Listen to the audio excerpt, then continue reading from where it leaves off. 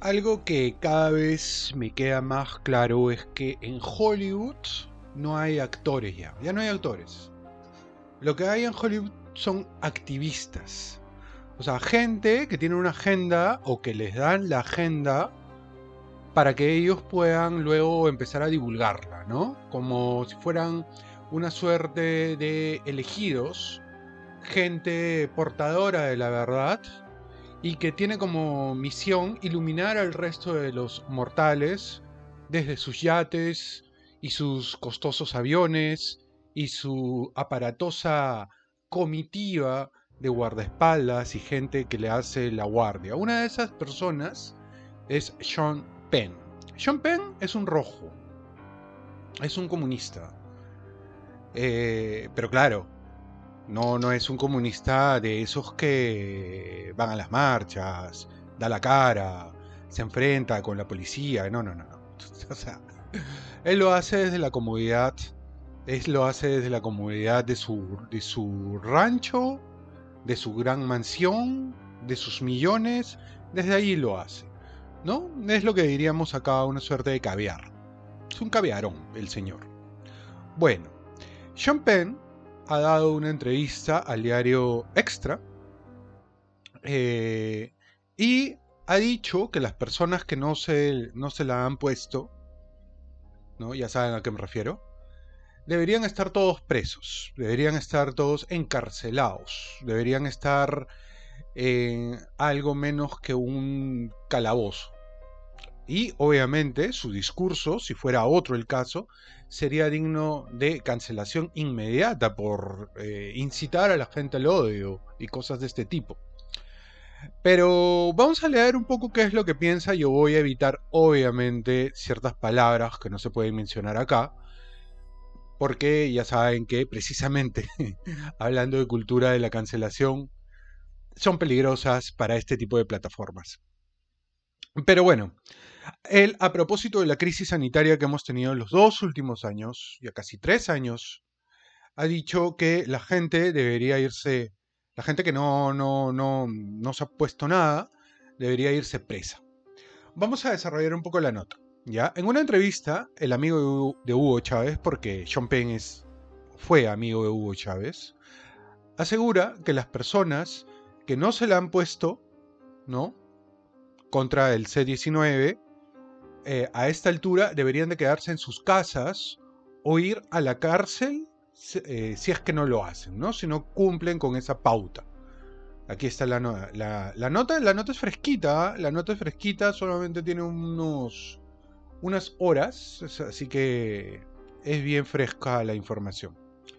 Leamos, leamos. El actor de 62 años, que ha generado polémica en el pasado por su apoyo a dictadores comunistas, latinoamericanos, habló en una entrevista con Extra donde aseguró que considera que las personas que no se han puesto la cuestión esta, ¿no? Contra el C-19, son criminales que deben ir presos con lo que roban o con los que roban, matan o violan. Es decir, el amigo Sean pone al mismo nivel ¿ya? Al mismo nivel eh, delictivo a aquellos que no se han puesto nada eh, con violadores, con asaltantes, con asesinos, ¿no? Para él son básicamente la misma persona. Y lógicamente él, como es un iluminado y él tiene, eh, digamos, la, la razón de lo que es bueno y de lo que es malo, está por encima de todo aquello, por encima de la moral, él puede decidir quién vive y quién no vive, y puede decidir quién está preso o quién no va preso. Ese es un poco, ese es un poco el tema con el señor este, ¿no? Cuando el entrevistado le preguntó eh, cómo se sentía acerca de la retórica anti, ¿no? Anti ponerse cosas, Penn inmediatamente declaró, es una, es una cobardía de convicción.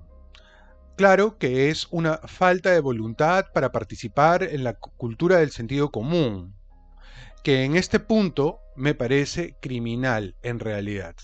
Cultura del sentido común. Ya se ha visto que en muchos casos esto que uno se pone no evita que la enfermedad se desarrolle ni que se la pases a otra persona. ¿No? O sea, no lo evita. Alguna gente cree que simplemente la disminuye. Yo creo que no, necesariamente. Pero el sentido común dice otra cosa. El sentido común. Y él habla de sentido común. ¿Qué más dice? Realmente siento que a alguien, no, siento que si alguien elige no vacunarse, debe optar por quedarse en casa. Se me escapó. No ir al trabajar, no tener trabajo. Mientras todos estemos caminando por la calle, debemos andar con seguridad. Así que tengo la esperanza de que la mentalidad cambie. Y aclaró, si no, a la cárcel. Entonces, eh, él dice que las personas tienen que irse a la cárcel si no piensan como él. Así de claro. Si no piensas como yo, te tienes que ir preso. Si no piensas de la misma manera que yo y mi club, te tienes que ir a la cárcel, a prisión, al calabozo. Es básicamente lo que está diciendo. Ahora, el tema está en que él se siente muy empoderado para decir este tipo de cosas sin temor a que le suceda nada. La pregunta es de dónde viene este empoderamiento, de dónde viene esta actitud, ¿no? De vacancito, de vacancito del barrio, ¿no? De, chico malo, de chico malo que no sale de su rancho. Porque, claro, es muy fácil decirlo desde tu avión de lujo, pero salir a la calle y decirlo frente a gente que piensa de otra manera, ahí sí no.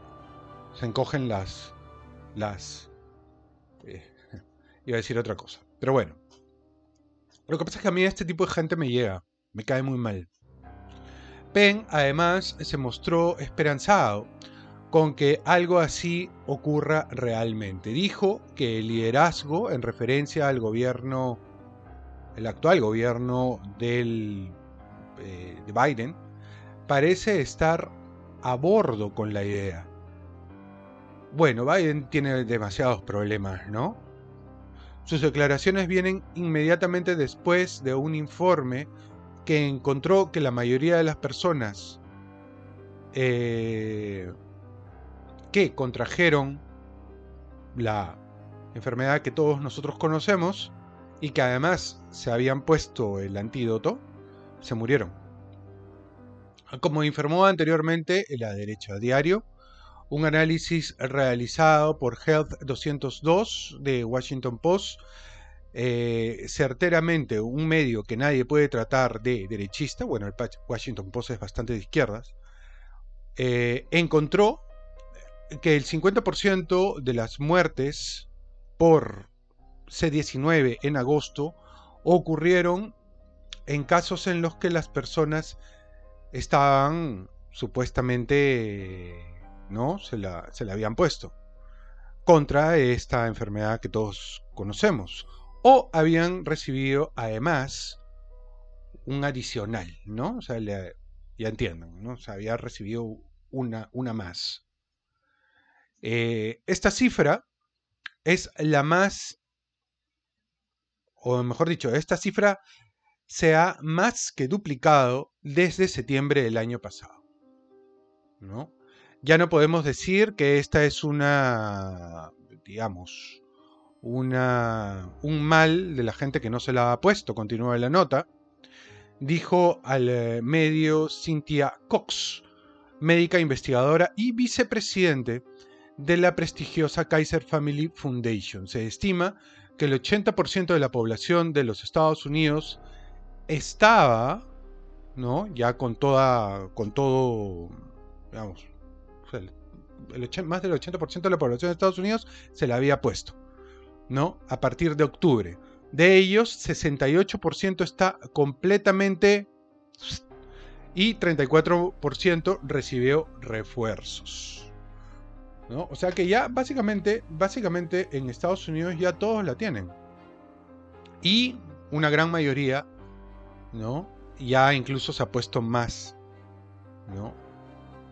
Como frutilla del postre de un verdadero delirio digno de un actor de Hollywood, Penn también ha abogado por los pases, estos pasaportes, ¿no? Comparando, comparando darse la, la cuestión esta como un requisito de salir de tu casa con obtener una licencia de conducir como un requisito para poder manejar. ¿no? Él equipara entonces el hecho de habértela puesto con eh, la licencia de conducir para poder salir y conducir el auto.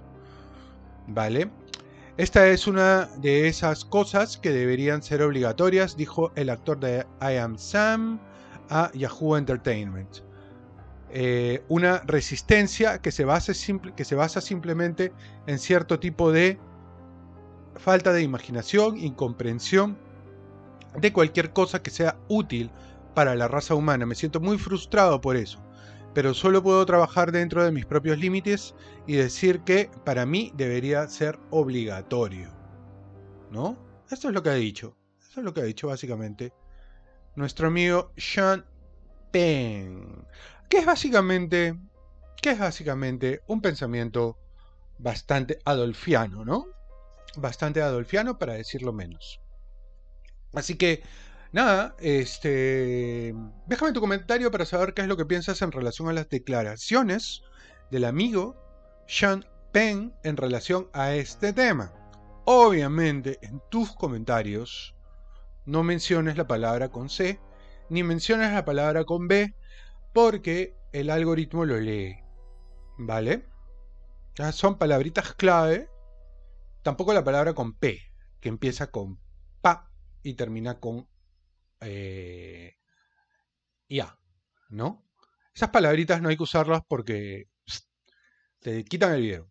Pero bueno, nada, déjame tus comentarios para saber qué es lo que opinas sobre el tema, suscríbete al canal si aún no te has suscrito, activa la campanita para notificaciones y comparte el video con gente a la que le pueda interesar esto. Ya sabes que tu like y tu comentario es súper importante para que este tipo de noticias, este tipo de información llegue a más gente. Nos vemos en el siguiente video, chicocos.